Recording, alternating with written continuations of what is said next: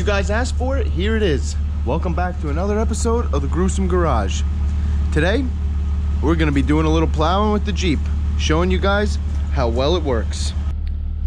So guys, we only got a few inches, but this is the perfect kind of storm for this kind of Jeep. You don't want anything really much more than 8 to 10 inches or else the Jeep isn't heavy enough to really push it around. It's fine on flat, but as soon as you start going up hills like we have around here, it's terrible.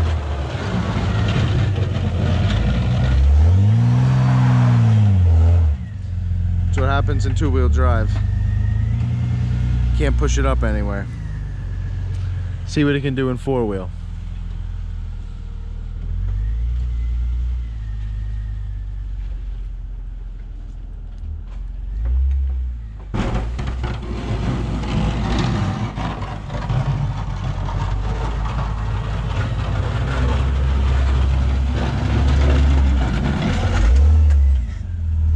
Much easier in four-wheel.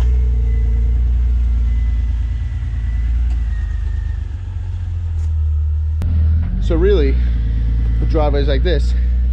Just gotta push a little snow out from the garage and you should be able to do the rest. This thing likes to get into nice tight areas and it's our favorite little thing for driveways.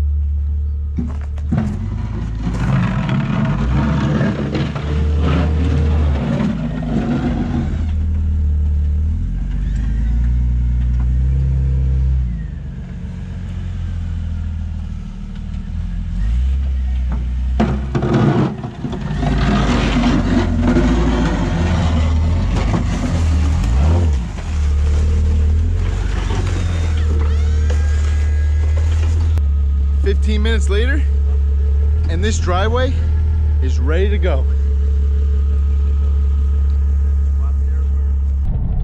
So guys, you've seen this thing in action a little bit. And uh, you know, it was only a couple inches of snow, nice easy one. But I just want to talk about why I think this is one of the best plow vehicles. I had a 90 something F250 single cab with a plow. It was alright, but um, I don't know, it just didn't you can't turn like you can in the Cherokee. It's longer. I don't know, it just didn't it wasn't as easy to plow with. There was a lot more, you know, you gotta watch where you're backing up and everything. This thing, it can, it doesn't turn on a dime, but it, you know, you can really navigate with this thing. It's nice and small. It's heavy enough, kinda, that you can push a lot of snow. You know, a foot is probably the maximum. Then you really gotta either hammer the pile or start chipping away left and right. But one of the nicest parts about this is the parts are cheap as dirt for it. You can get them anywhere, junkyard, auto parts store. You can get them the next day. You know, you something breaks, 90% of the time, chances are you can fix it. Transmission goes, it's probably 100 bucks for an AW4. You know, the motor, you could get a motor for 200 bucks. Really simple to work on. So much information out there about them. So if anybody's looking to get into plowing, you don't want a big monster truck, you know, a crew cab eight foot bed with a plow on it. I highly suggest starting with something like this. I'm sure the Wranglers are good too, but they're out of my budget. They're way too expensive. This thing we picked up for 500 bucks. Probably put another thousand into the cooling system and stuff. A couple other gaskets, all that kind of stuff. refreshing the head. Yeah, got that had the head refreshed. We wanted to make sure it wasn't cracked. Needed a head gasket. Um, then the plow setup. The plow we bought for a thousand, and then the frame for the Jeep was like three, four hundred bucks, and a wiring harness, two hundred something. And you know, a couple thousand dollars later, you got a nice plow setup, nice reliable engine, drivetrain. I don't know. I think it's the best bang for your buck when it comes to plowing. Not these big honking pickup trucks, unless you're, you know, for driveways. Driveways. If you're doing parking lots, uh, this is too small. But it is perfect for these New Jersey driveways. Like these driveways right there. We're coming into a few more. We'll show you.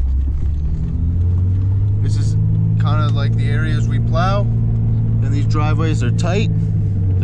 Small, There's and cars in them. and there's not a lot of room to push the snow. So you have to use something small and easy to turn around in. Let's do some more.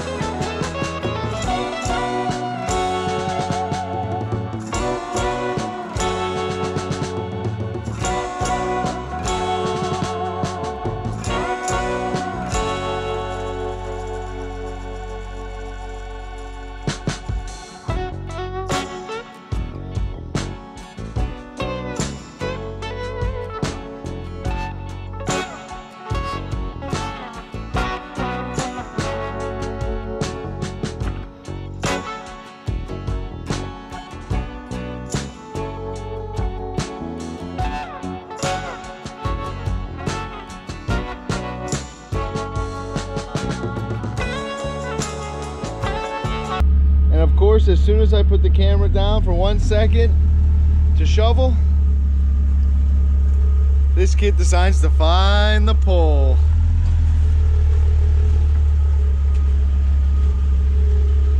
At least Cherokees are a dime a dozen.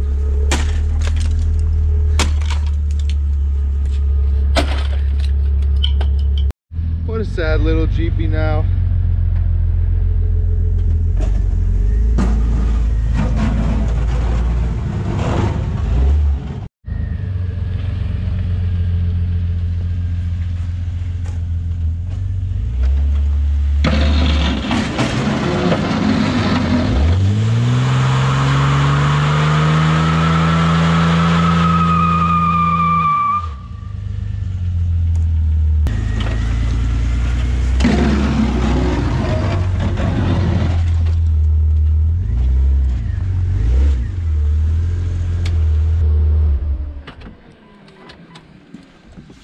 Well, if you're gonna break something, it's usually always at your own house. So, this is the plow Jeep. Greatest plow vehicle ever made. I'll let you guys decide that. But let me give you a quick, simple rundown of what we have here. Dana 44 rear out of an older Cherokee, bolt in. Disc brake conversion from TeraFlex. We bought it like that. 456 gears, which grenaded the last storm. Had that fixed. Dana 30 in the front, 456. Uh, I think they're chromoly shafts. They look funky. They don't look like stock shafts. Um, simple three inch Rusty's lift kit. Rusty steering in the front, tie rod end steering. Uh, heavy duty Rusty coils in the front. Actually works really well with the plow. When we take the plow off, the front's higher than the back. But well, we could fix that with shackles and play that whole game, but it doesn't matter. Barely drive this thing. Rear is full old, old Skyjacker leaf packs, three inch leaf packs.